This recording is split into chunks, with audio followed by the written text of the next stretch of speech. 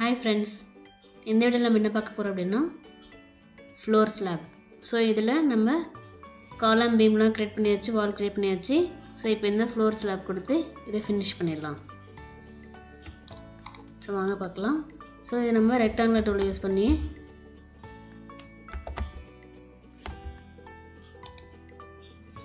So floor slab create பண்ணுறதுக்கு முன்னாடி நம்ம ஒரு லேயர் க்ரியேட் பண்ணோம் இல்லையா?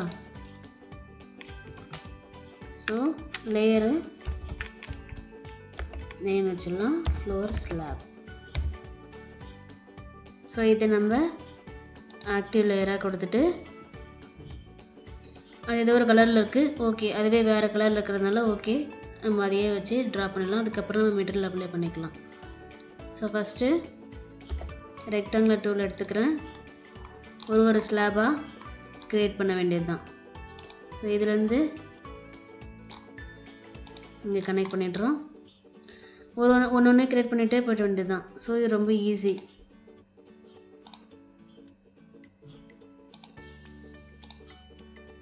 ஒரு ஒரு ஸ்லாபிங் ஒரு ஒரு கார்னரை நம்ம கிளிக் பண்ணும்போது நமக்கு ஆட்டோமேட்டிக்காக அழகாக நமக்கு க்ரியேட் ஆகிடும்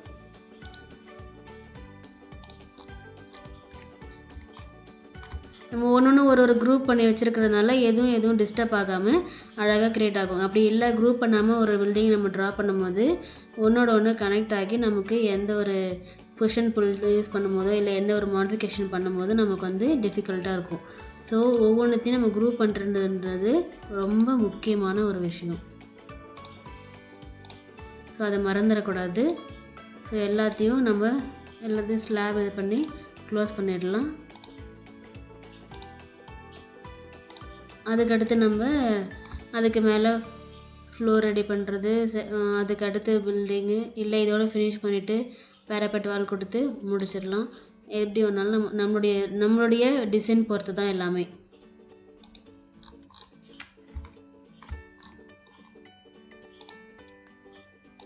ஸோ இந்த மாதிரி எல்லா இடத்துலையும் ஃபினிஷ் பண்ணிடலாம்.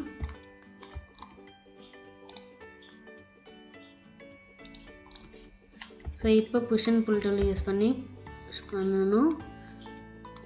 ஸோ நம்ம என்ன பண்ணலாம்? ஸ்லாப் க்ரியேட் பண்ணி முடித்ததுக்கப்புறம் நம்ம இந்த வால் லேயரை ரிமூவ் பண்ணிவிட்டு இப்போ புஷன் புல் யூஸ் பண்ணி புல் பண்ணிடலாம்.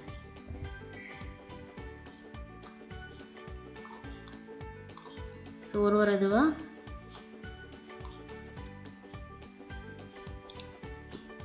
ஒன் ஃபீட்டுக்கு என்ட்ரி கொடுத்துட வேண்டியதான்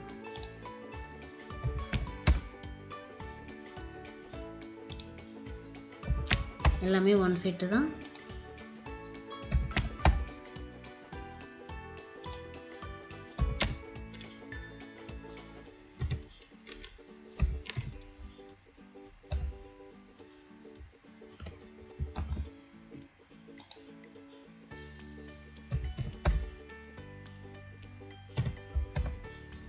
ஸோ இதே மாதிரி எல்லாத்தையும் புஷன் புல் யூஸ் பண்ணி.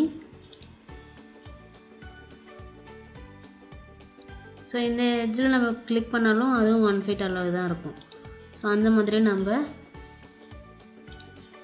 ஈஸியாக புல் பண்ணிக்கலாம்.